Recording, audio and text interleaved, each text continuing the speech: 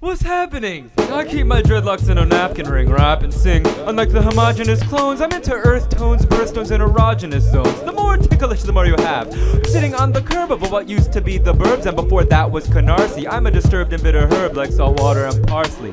Mites crawl up, tights fall down. That's my mnemonic for stalactite slash stalagmite. You may have this maglite, it survived the apocalypse, and for the fragile force of an agile horse, here's a handful of very special chocolate chips.